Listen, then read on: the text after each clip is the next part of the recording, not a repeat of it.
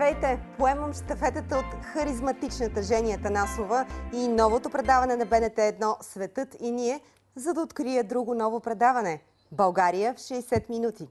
Аз съм Марияна Векилска и идвам от Националния военно-исторически музей, където работих доскоро.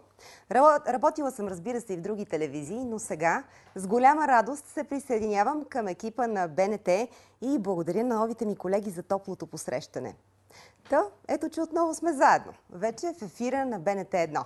За мен е чест, а за вас надявам се да се превърне в удоволствие, защото планираме едночасова разходка из България всеки ден, която ще осъществяваме заедно с репортерите и кореспондентите ни в цялата страна. Започваме днес, вторник, 8 септември, на празника Малка Богородица – ще следим заедно разнообразни събития от деня, ще се срещаме с интересни личности, ще обхождаме живописни места, ще се запознаваме с любопитни местни традиции, ще си припомняме и стари забравени обичаи. Изобщо ще се информираме и забавляваме. Така че, каня ви, среща тук всеки деничен ден в 5 след обед.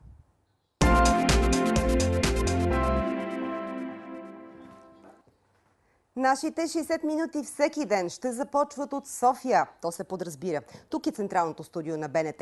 Но този факт няма да ни ограничава. Никак даже. Нямаме задължителен график и ще правим каквото си поискаме. Ще обикаляме където ни душа иска. И за да ви е пригледно, ви показваме на карта. Може да отскочим до Пловдив, може и до морето. Варна, Бургас, на юг и на север, и на североисток. Ще свием нагоре към Дунава, към Русе, после може да се спуснем по диагонал към Благоевград. И не само. Имаме си хора навсякъде. Така че, хайде с мен!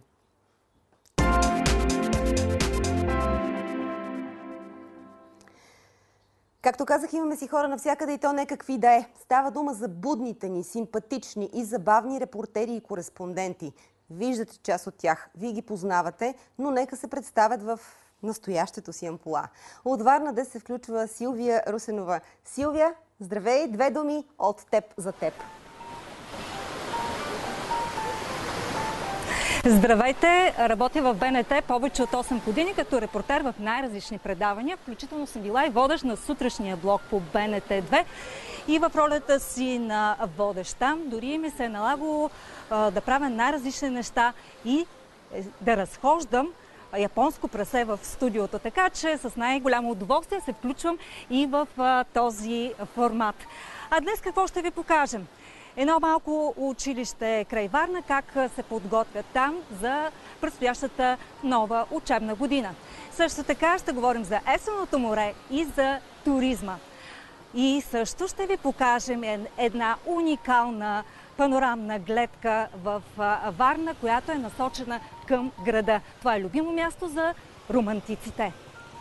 И от Варна към Русе най-близо е, където е Калчо Петков. Калчо, здравей!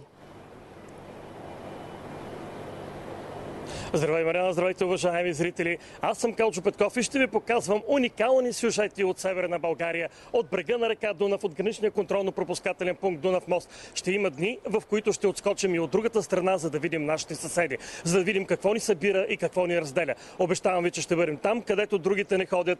Ще показвам интересни хора, които ще ни зареждат позитивно за целия ден. Мариана? И съм сигурна, че ще го докажеш още днес, Калчо. От Пловдив днес ще предава Галена Паскова. Галена, здравей! Здравей на теб!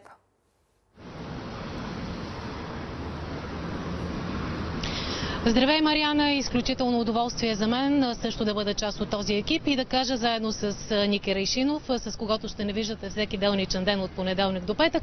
Какво ще ви предложим? Разбира се, Пловдив е необятен с всичко позитивно и оптимистично, което можем ние да отразим и което все още не е познато за нашите зрители и те първа ще го научат.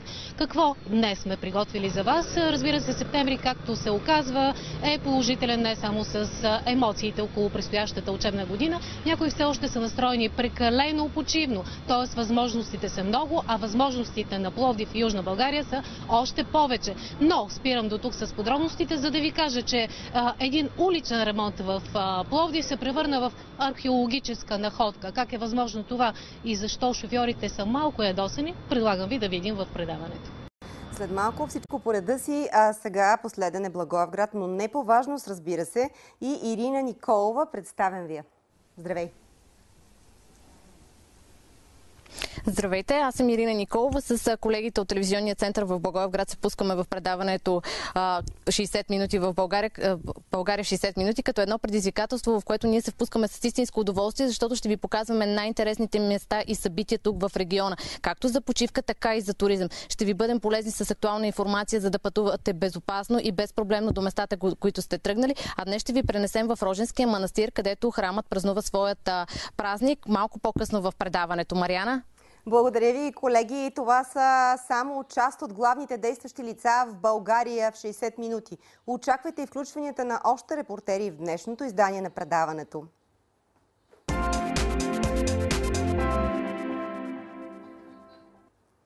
Започваме с актуална тема. Знаете, граничният пункт Илинден Ексохи край Гоца Делчев остана затворен за няколко седмици по инициатива на гърците, като превентивна мярка срещу разпространението на коронавируса.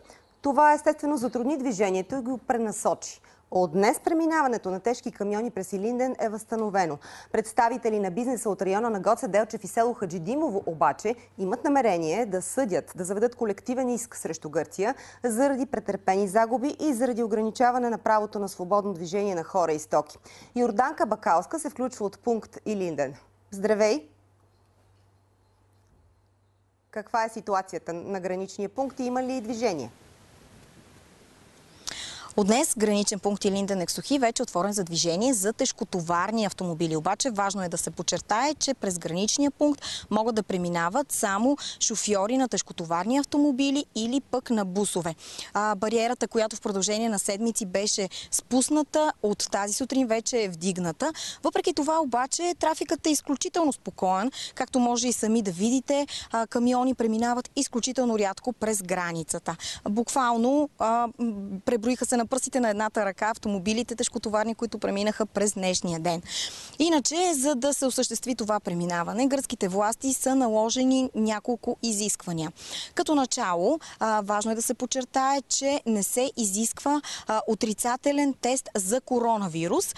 Подобно изискване има за преминаващите през граничен пункт Кулата Промахон, но пътници с туристическа цел.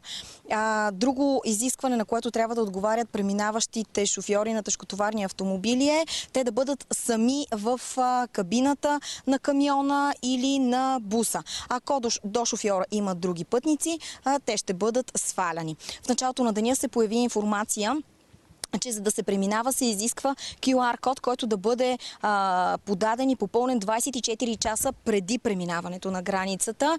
А, по неофициална информация обаче такъв код към настоящия момент не се изисква. През днешния ден трафика тук на граничния пункт се очаква да остане спокоен а, до късните часове. А, според пътуващи обаче не такава ще бъде обстановката през сутрешния ден, когато се очаква трафикът значително да се засили, тъй като масово хората ще имат информация информация, че пунктът е отворен за движение. И за финал е важно да подчертаем. Имайте предвид, че граничен пункт и Линден Ексохи е отворен за движение, но само единствено за шофьори на тежкотоварни автомобили. Туристи все още не могат да преминават през този граничен пункт. Единственият вариант за влизане в а, южната ни съседка остава граничен пункт а, Кулата Промахон. Благодаря ти, Дани, за тази полезна информация. И аз пак потретвам или попетвам. Не могат да минават туристи през граничен пункт Илинден, Ексохи, Карайгоца, Делчев. Не се отправите на там. Зная винаги, че зрителите се объркват и а, от едното ухо им влиза, от другото им излиза понякога, но а, за да им спастим затруднения, повтарям го отново. И сега към срещуположната ни граница, тази с Румъния. Отиваме на Дунав мост. Колегата Калчо Петков ще ни покаже как протича една митническа проверка с участието на специално обучено куче, което търси наркотици. Калчо, здравей! Отново. Здравей отново, Мариана. Ние сме на граничния контролно-пропускателен пункт Дунав мост. Ето тук зад мен е Дунав мост. Мост, който е пуснат в експлуатация през 1954 година.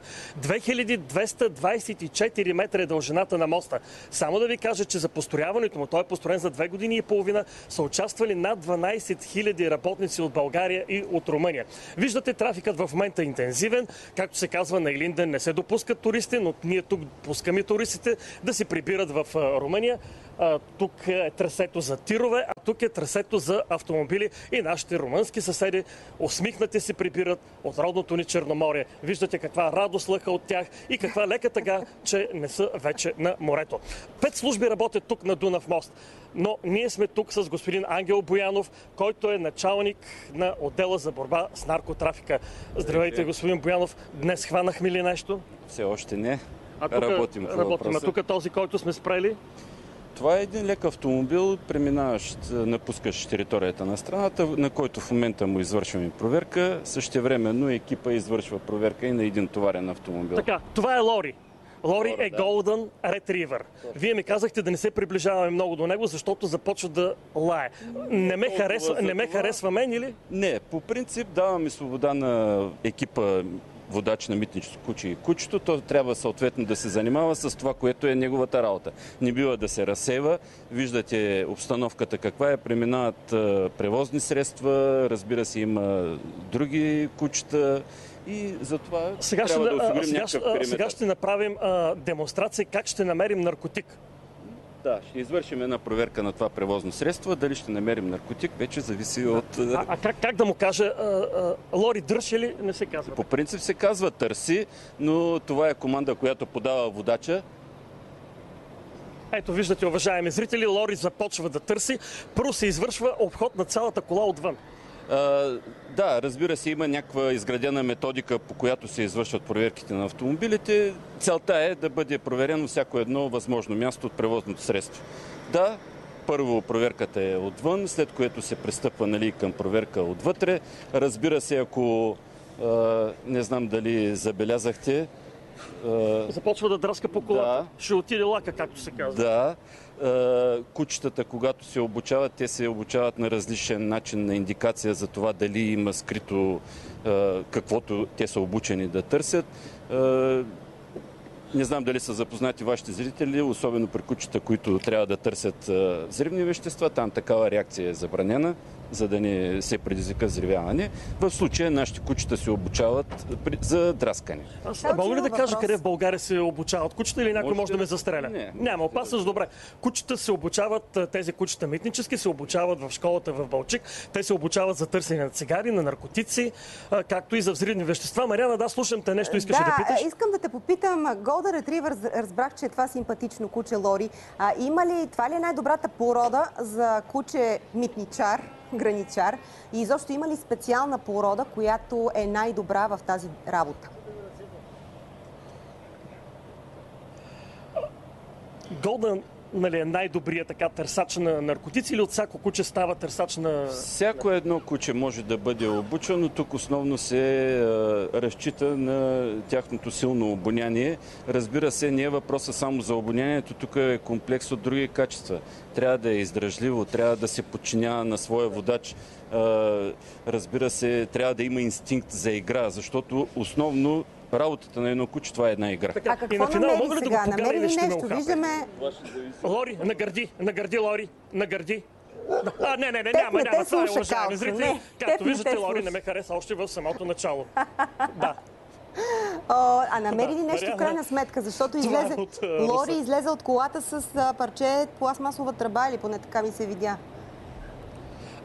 Да, да, намери, намери наркотика, всъщност успя да го намери. А, тук само да кажа като финал, че търсенето на подобни вещества е под формата на игра. Който казва, че а, тези кучета се тъпчат с наркотици, за да могат да ги душат, вече не е така. От много години това... Вече, або, Никога не е било така. Никога не, е, да, никога не е било така. Те са под формата на игра. Мариана?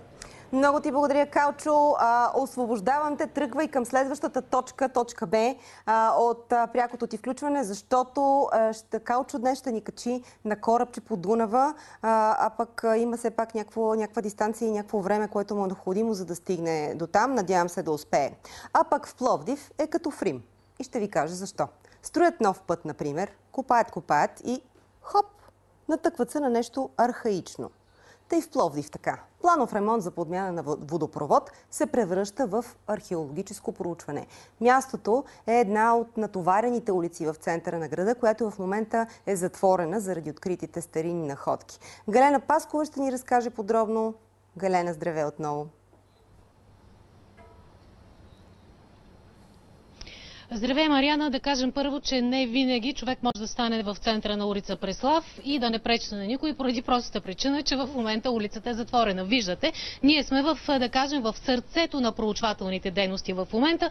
Един, както и ти каза, Мариана, наглед съвсем обикновен ремонт, смяна на водопровод, се превърна в поредната археологическа находка, но както тук се шегуват всички, когато решиш да правиш ремонт, е добре да имаш със себе си археолог. Всъщност това е и задължително, защото ние ние се намираме в една защитена зона Тримонциум Филипопол. И всъщност ето го и самия археолог, който е тук още от началото на дейностите и разбира се представител на Вейка Пловдив, Биляна Груева и инженер Антон Гълъбов. Биляна, доста сте напреднали. Ние преди 3-4 часа бяхме тук. Да, какво да. се случва тук и какво за момента е открито? Какво можете да кажете? Това, което мога да кажа в момента е, че попаднахме на, както виждат всички, масивен зид, граден от сианитни квадри и подово ниво с нападала покривна конструкция. Това мога да кажа на този етап, тъй като нашите проучвания те първа започват. Цялата гилдия журналистическа от сутринта питаме какви са вашите очаквания. Вие обаче не давате повече подробности, но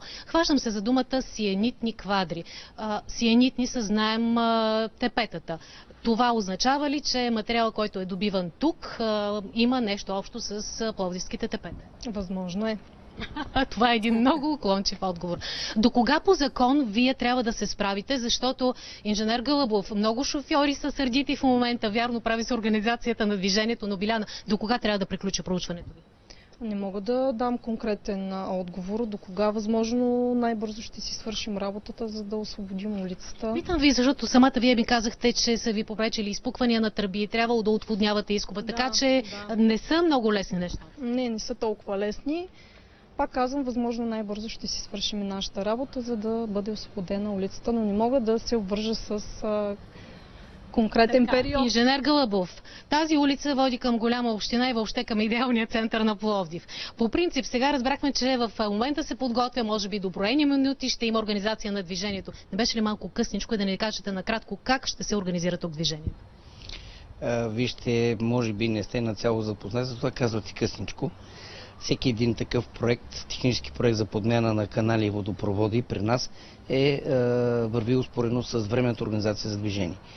Тя такава беше създадена, има такъв проект, но той беше наистина временен само за периода петък-събота. С едно изречение, моля ви, в момента е затворена улицата. Разбрахме, че трафика ще се пренасочи към Виктор Юго, така ли? е? Да, именно това вече включва втория проект за организация на движението, който ще пренасочи тра- трафика по други улици. Добре, но все пак зависите от археолозите. Надяваме се и да а, има и добри новини за шофьорите. Благодаря ви, инженер Гълъбов. Това е за момента. Както Да. виждате, археолозите са не много а, дашни в момента на информация. Очакваме всички наистина ние да разберем каква е поредната находка Мариана тук, в центъра, в сърцето на Пловдив, на улица Преслав. Едно е сигурно, Галена, вярвам, че ще се съгласиш с мен. Ремонтът на водопровода се отлага за неопределен период. Искам да използвам възможността, защото се включваш на живо. Разбрахме, че има пожар в района на Хисаря някъде гори. Каква е информацията, с която разполагаш ти?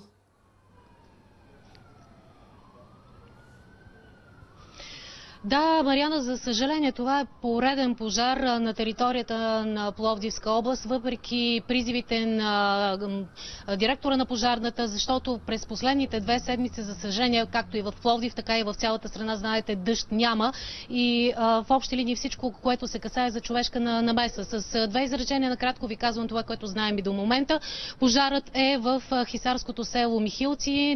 Доколкото сме информирани, за момента няма опасност за населението, но по данните, с които разполагаме, гори 100 декара гора, черен бор.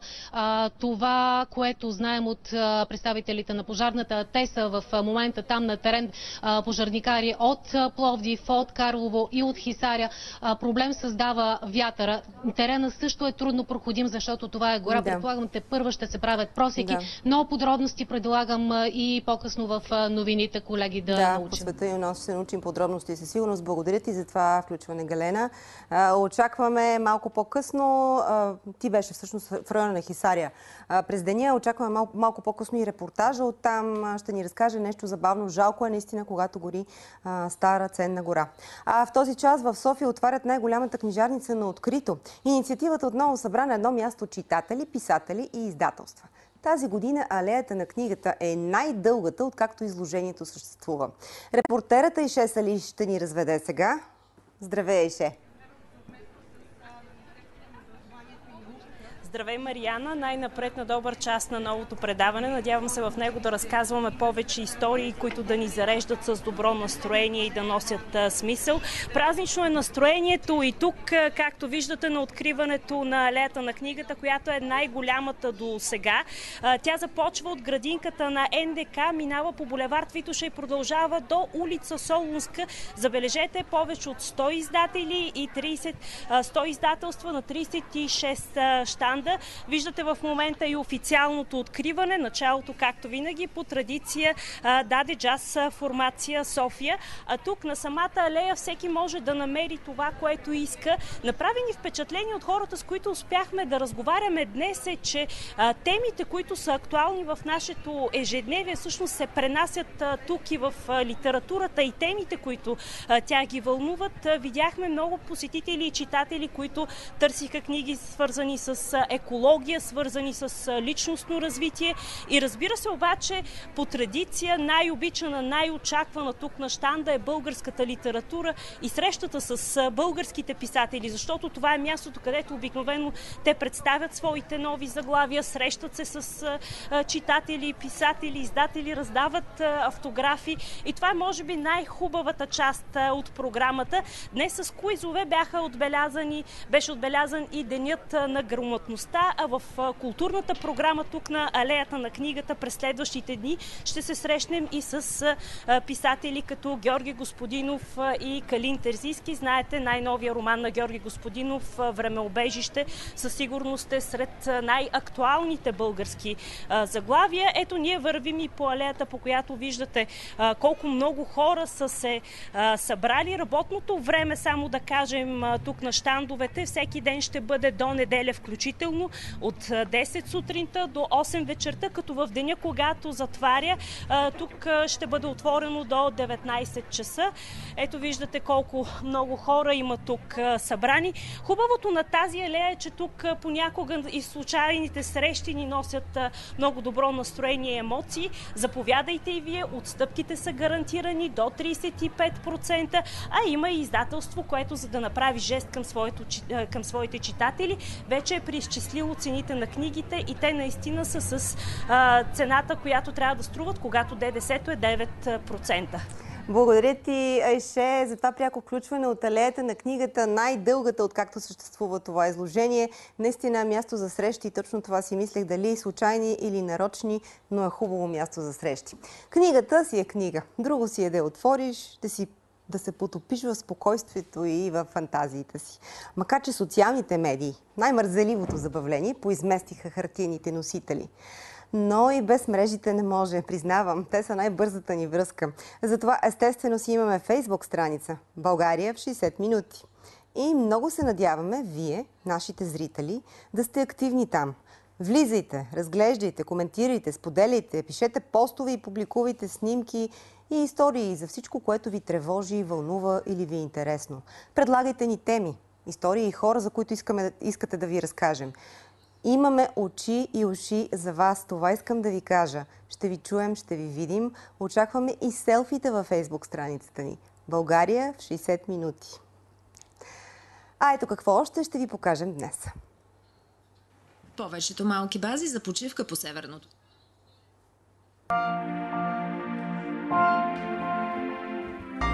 Ще се удължи ли летния туристически сезон тази година и има ли все още хора на морето? Къде още можем да почиваме? Разходка по Дунава и в планината. Днес е православният празник Малка Богородица.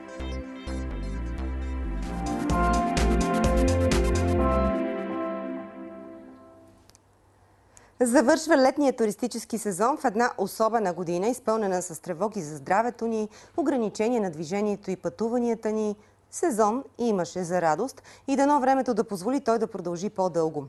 Отиваме към Варна, където, както вероятно знаете, голяма част от хотелите в курортните комплекси останаха затворени и то дори и в разгара на лятото. Отворените пък не работят при пълния си капацитет. Силвия Русенова ни разхожда по морския бряг. Здравей отново, Силви! Като те гледах началото на предаването ми се дотанцува салса. Здравейте отново от Морския бряг. Тук специално в момента никой не танцува салса, но пък, както виждате, все още на плажа има хора. Те предпочитат да бъдат тук, а не в къщи, да на задушно, а тук на прохладата. В момента духа вятър от изток, северо-исток. Това, между другото, го виждаме и на нашия уинт, както подухва как подухва вятъра. А, между другото, това, което мога да ви покажа към този час, тази тъмна част в морето, това, е, това са водорасли вътре в а, морето. Искам да ви покажа. Те не са толкова страшни водораслите освен, че са полезни, за какво са полезни? А, за разширени вени, а също така и в борбата с целулита. Освен това, когато бяхме малки и си ги слагахме на главите, за да се правим на морски чудовища. А, тъй като говорим за този сезон, да, наистина този сезон е много по-различен от останалите сезони заради а, коронавируса.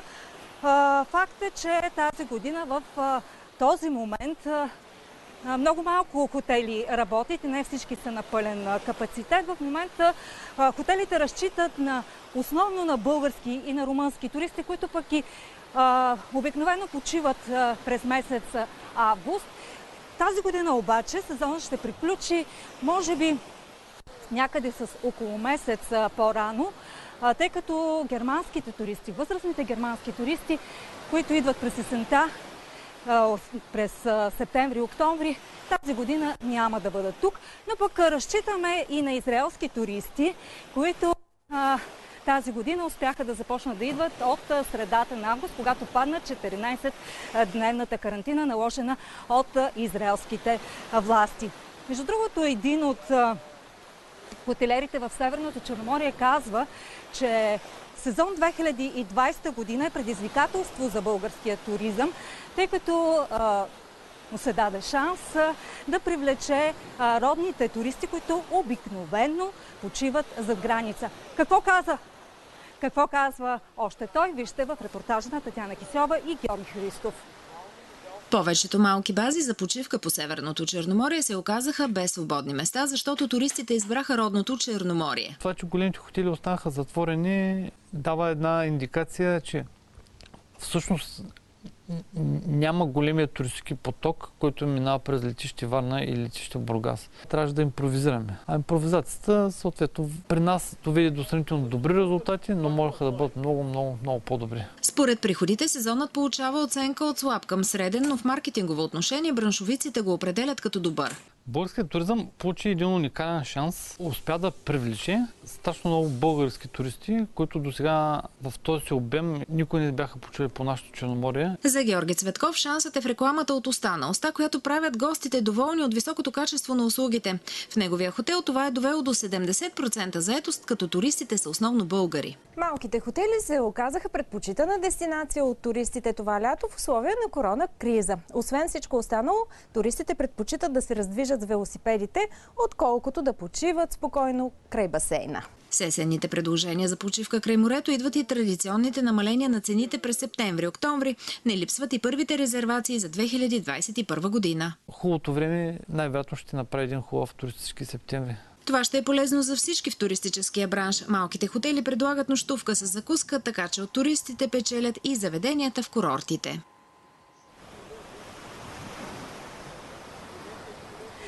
Толкова много може да се каже за туризма през тази година. Аз само искам да ви покажа, че ние тук сме близо до резиденция Ексиноград, където почиват правителствените особи. В момента плажа там е пуст. Виждат се а, някакво размърдане. А, явно или тук не почиват а, политиците, или работят в столицата. Нека само да кажем и нещо за това, че все пак почивката не е само хотели, но и къмпингуване. Ние също имаме палатка, която щяхме да я разтворим сега, но за съжаление не се скъса една от рейките. Но къмпингуването през септември, това е един наистина отличен сезон за а, тази почивка, защото времето е все още топло, не е както в планините. А, това, което можем да кажем е, че а, всяка година има голям проблем с безработното а, паркиране на кемпери и каравани, както и на палатки. А, според а, кметовете на общините, където има къмпинги, смятат, че солидните глоби а, могат да решат а, въпроса. Но хубавата новина обаче е, че вече Комисията по економическа политика и туризъм прие а, наредбата, която включва правилата за къмпингуване и ще даде възможност на общините да имат повече правомощия в, за това как да решават въпросите и проблемите с дано, къмпингуването. Дано, Силви, това да развърже и ръцете на инвеститорите в къмпинги, защото тъй като до сега нямаше строг регламент, те се страхуваха да инвестират, да речеме, в инфраструктура, в а, туалетни подходящи и затова почиването не беше на ниво.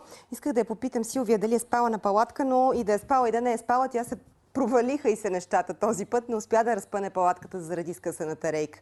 Палатката обаче и къмпингуването е запазената марка на Южното на Черноморие. Затова сега се отправяме на юг от Бургас да видим как стоят нещата, нещата там. Това лято още повече хора са избрали да къмпингуват и въпреки пандемията беше отчетен скок в наемането на кемпери и каравани. Като дългогодишна къмпингарка ще ви кажа, че няма по-романтични вечери тези на свещ пред караваната и няма по-успокоителна приспивна песен от звука на прибоя. Но, да не се отклонявам, Давид Сукнаров ще покаже още предимства на този тип почивка.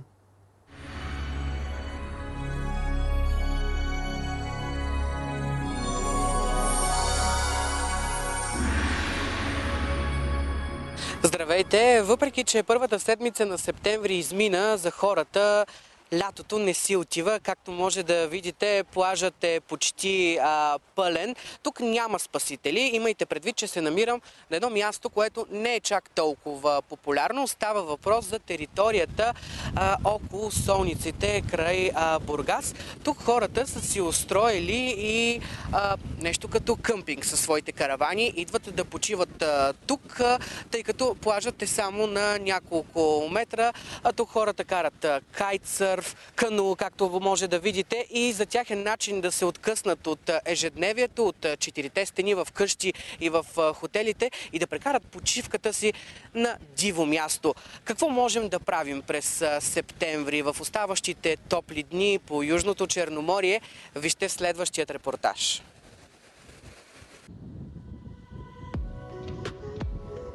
Ани заедно със своята дъщеря Теодора всяка година избират да прекарат лятната си отпуска на къмпинг. Имат собствена каравана и затова избират диви места край плажа, където да се установят за около седмица. Казват, че не скучаят.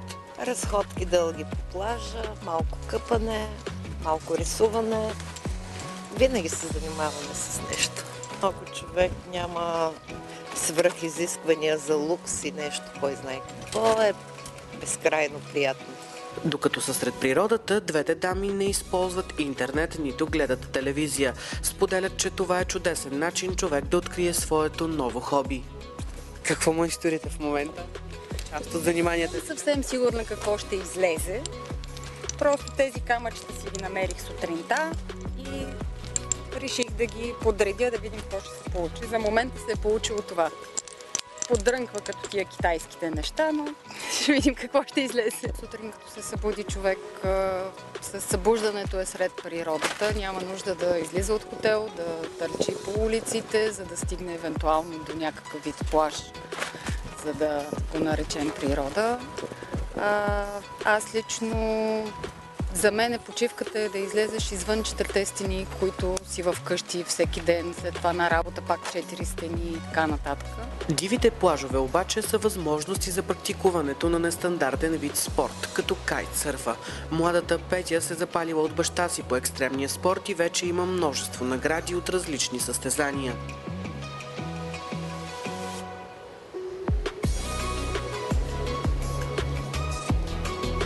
Тъй като това е спорт, който е свързан с природните условия. А, има неща, които не зависят толкова от човека и основно а, времето може да се окаже опасност за спортистите. По принцип се очаква да имаш добра двигателна култура, за да се справиш с триковете, бързината и общите условията в морето. Не се изисква определено никаква сила, това не е силов спорт. Техниката е много по-важна, вниманието, концентрацията. И ако отговаряте на тези критерии, северно от плажа в Бургас има сърф училище за ентусиастите, които искат да се докоснат до екстремния спорт. А за тези, които не могат да карат кайт, като мен, например, просто можем да го наблюдаваме от брега. Всяка година в началото на септември се организират и зрелищни гонки в Бургаския залив на най-добрите кайтсърфисти, които спират дъха на публиката.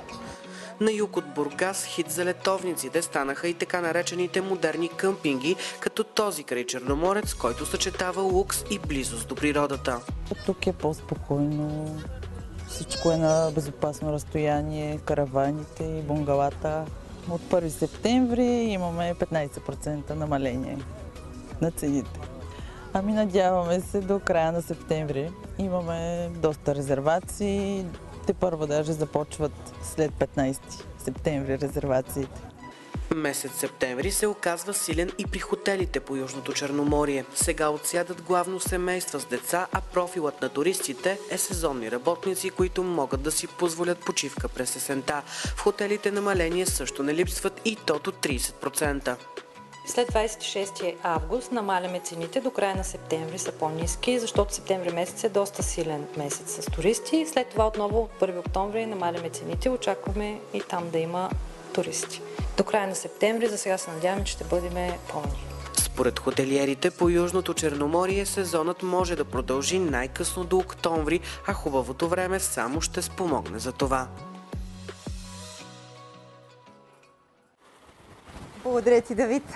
Ето, видяхме, че има още време за море, който не си изразходил отпуската, разбира се. А и красиво е наистина гледката от плажа към десетките пъстри хвърчила на кайтовете в ден с силен вятър и бурно море. Това е условието за да караш кайт. И от опит казвам, че сърфът е много приятно изживяване на къмпинга, който определено предразполага към активна почивка. Но колкото повече наближава есента и изобщо студения сезон, толкова повече обръщаме поглед към всесезонните курорти, макар че и морето стана такова напоследък. Планините и местата с топли минерални води, например. В Пловдивско има няколко такива места. Едно от тях е Хисария, където, както обещахме по-рано при прякото включване на Галена Паскова, сега ни води тя.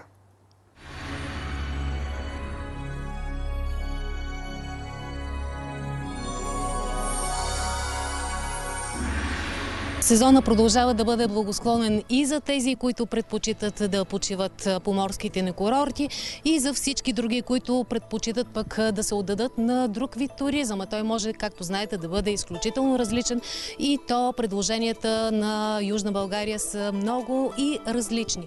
Ние се намираме в град Хисаря. Курорт, известен с минералната си вода, но не само.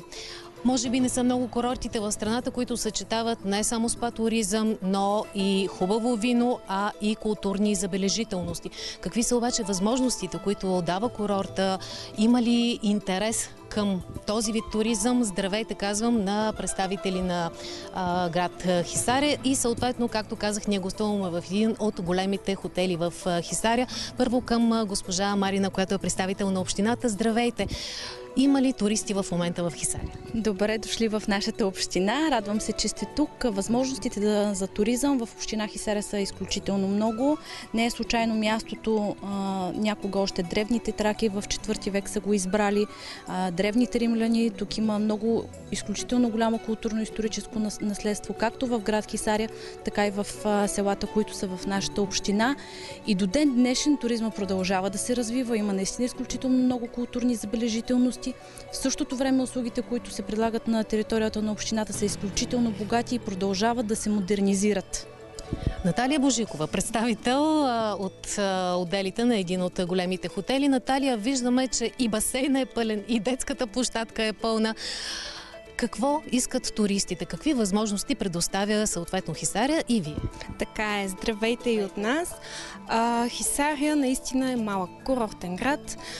Гостите тук търсят спокойствие. Най-вече Хисария е дестинация за семейства с деца, хора, които търсят лечение и искат нещо повече. Може би и спокойствие. Морето е едно с, разбира се, неговата романтика.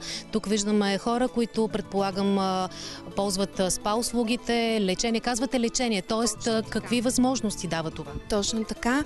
При нас е една от най-добрите барокамери в страната. Това е капсула, която извършва терапия, насища организма на човека с 100% чист кислород, спомага метаболизма на хората. Помага... Казвате, че в момента това е търсено заради така притеснението от коронавируса в страната. Коронавируса, да, това оказва изключително влияние на този етап към клиента. Аз не случайно споменах а, Хисаря и неговите културни забележителности, а и представителя на община Хисаря подчерта това, но а, след малко ще направим едно пътуване а, към една от вашите най-големи забележителности, разбира се, разкрита от археолога Георги Китов. Но а, има ли много туристи, които идват и съвместяват и двете, и културния, и спа туризма?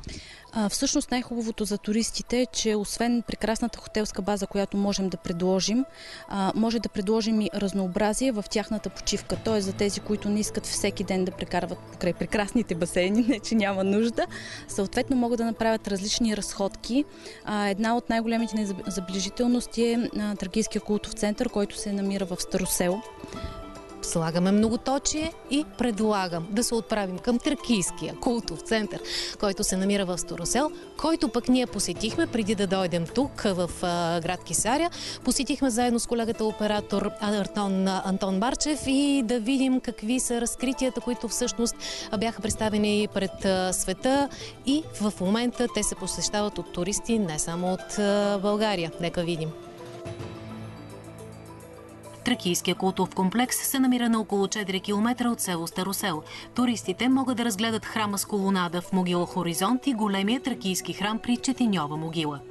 Този храм е най-големия на Балканите, проучен е от доктор Китов през 2000-та година и неговия екип.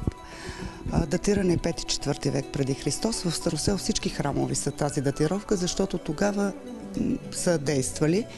Храма е изграден от 6000 камени блока, всеки между 200 и 500 кг, като всичките са свързани с метални скоби. Кръгла зала е най-голямото като подмогилно съоръжение с диаметър 5,40. Вътре няма погребална камера, няма каменно ложи, няма и дарови. На метри от храма се намира и Пейчова могила, където е разкрита владетелска гробна камера и са открити на коленник, пръстен печат с тракийския конник, пълно бойно стережение и фиала с сребърна позлата.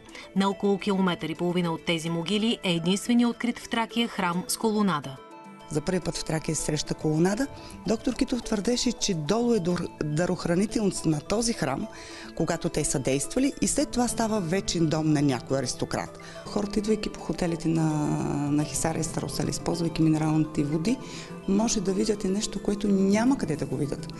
Това в Египет го няма, това в Гърция го няма, това го има в България. И всъщност, докато туристите, които се оказа, че в момента са изключително повишаващ се брой в Хисаря, се забавляват, ние продължаваме да работим и разбира се, отново се отправям. Сменихме, както виждате, и мястото, показваме друга, различна гледна точка, романтика по време на работа. Да, докато туристите се забавляват, оказва се обаче, че могат да се спазват и противоепидемичните мерки, доколкото разбирам. Точно така. С хотела работи на високи обороти в момента. Въпреки трудната ситуация през настоящата година, спазват се всички мерки за дезинфекция и безопасност, предписани от Министерството на здравеопазването.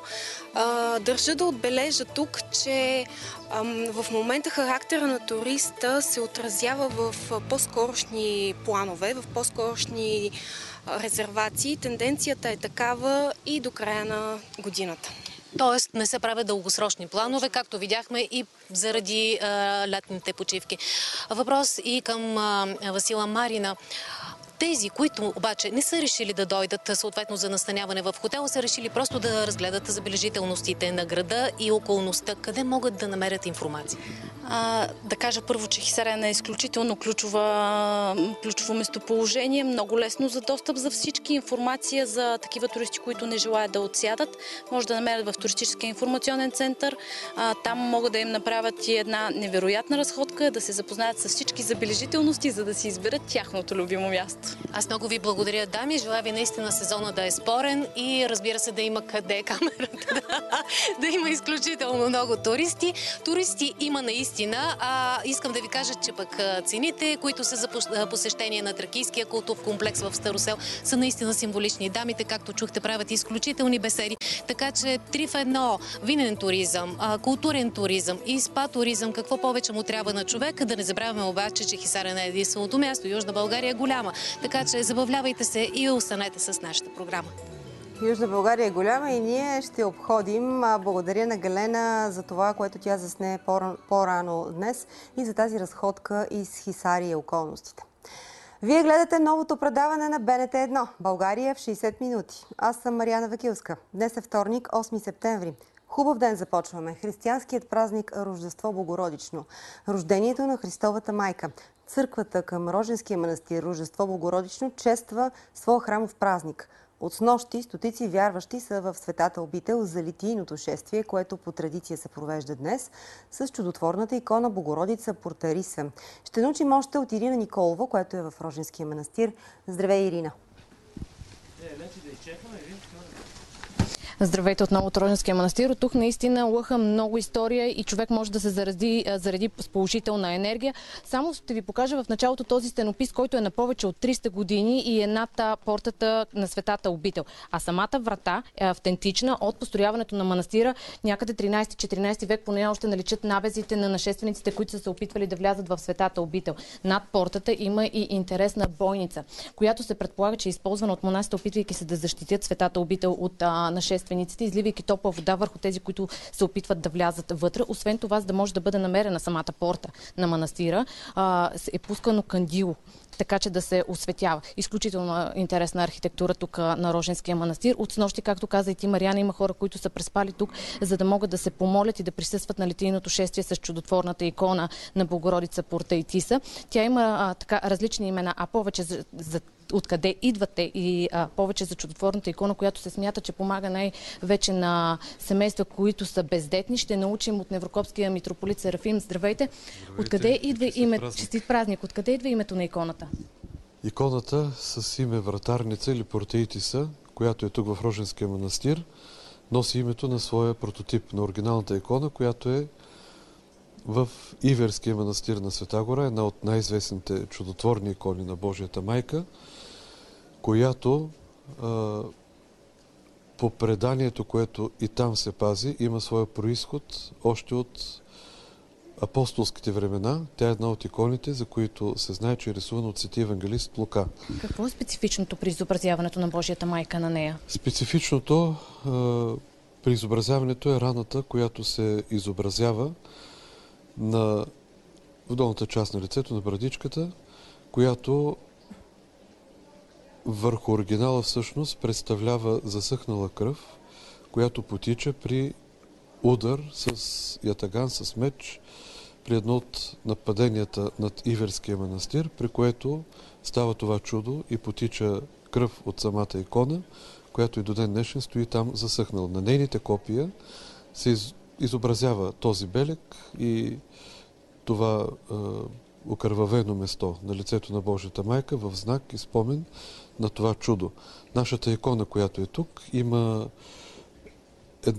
една, такава особеност, че в двете страни, отляво и отдясно на самото изображение на Божията майка, в вертикален ред, в малки сцени е разположена, са разположени, т.е. полета, върху които се изобразяват историята на пристигането по море на чудотворната икона в Иверския манастир, нейното посрещане, приемане в манастира и избора на место, което сама Божията майка посочва, а това е именно да бъде при портите на манастира откъдето тя да пази манастира и цяла света гора. Има ли опити за набези върху иконата, която е тук в Роженския манастир? Знаем, че хората казват, че а, иконата винаги се връща. Иконата винаги си е била тук, откакто е донесено. Това копие от 1790 година, изработено. Това е времето, когато Роженският манастир е метох на Иверския манастир. След възстановяването му от един голям пожар в края на 17 век. И от тогава всъщност има едно посегателство върху тази икона, което е от, доколкото така преданието е запазено от човек, който не е добре психически, но това е от по-ново време. Други посегателства върху тази икона не са известни през този 200 и повече годишен период на нейното прибиваване тук в Светата обител. Много ви благодаря за това участие. Тук в Роженския манастир продължават да идват и още хора, които искат да се помолят, да, да запалят свещичка пред, а, в а, черквата и а, така да застанат пред иконата. Само ще кажа, че тя е тук изложена винаги, така че който иска може да дойде и да се помоли пред нея. Ирина, чудесна беше. Благодаря ти за това включване и от а, планинската прохлада на Рожен. Сега отново към топлото. Докато все още можем и докато времето позволява, хайде да си наемем корабче. Или поне да се повозим. Такава приятна възможност, бих казала, и има в Русенско по Дунава.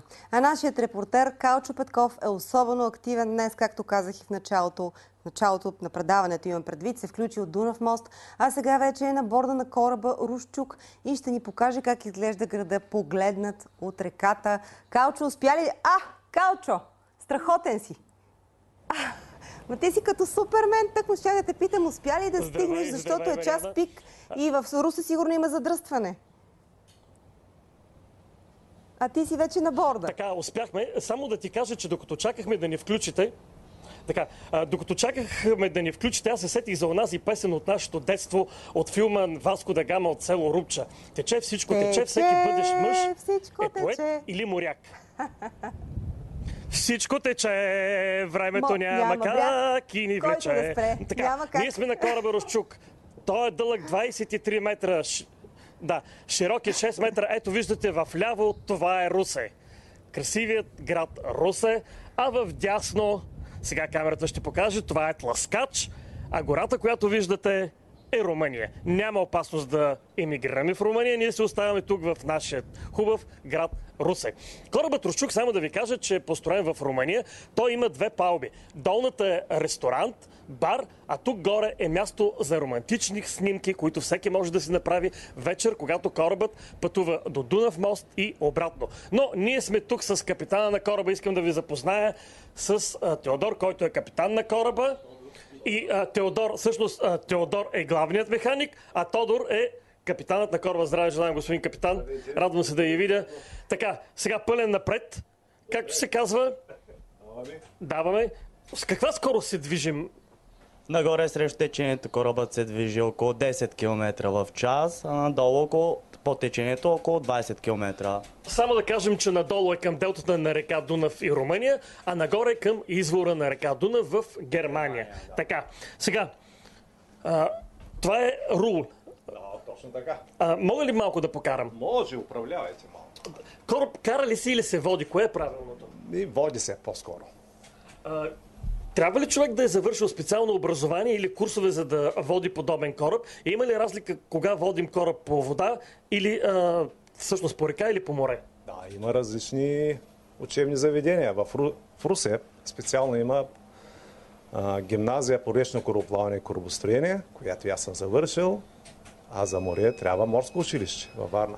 Така, тук има различни уреди. Тук какво показва този уред? Радара показва по всички кораби, които са над повърхността на водата. Това са бреговете, примерно, това различните цели са корабите, като този кораб. Няма да се блъснем, аз да завия малко. Малко наляво. Малко наляво. Пълен, пълен ляв ли се казва? Как е?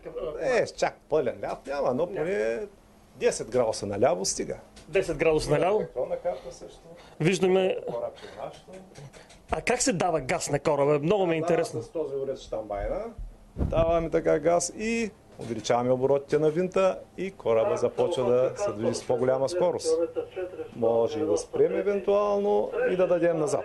А, ето сега ни казват нещо по станцията. Какъв е официалният език по река Дуна? Официалният език по река Дунав от делтата до Унгария е руски език, а от Унгария нагоре е немски. Всички капитани трябва да знаят тия два езика, за да могат да се разбират, да се разминават, защото ние навсякъде по Дунава може да се разминават корабите. Трябва да се изчакват. А колко пасажира можете да качите на този кораб? А, Случват ли се така романтични вечери? Разбира се, около 60 човека може да качим. Има романтични вечери, има Калчо? предложения за брак. Много Калчо, като говорим за романтика-. Ергенски партията, момински партията. Дори Да, само да видим Мариана какво ще ми пита. Да, Мариана, слушам те. Ма, пък ергенски партиите и момински партиите, аз искам за романтика да говорим. Ергенските и моминските партиите хич не са романтични. Каква романтика? А, Романтиката че вече е само в книгите. Разбираш ли? Разбрахме, че има възможност за романтични вечери там, вероятно за предлагане на брак. А има ли възможност капитана да жени хора, които така си искат да побързат и, и да направят нестандартна сватба? Да се свържат по нестандартен начин.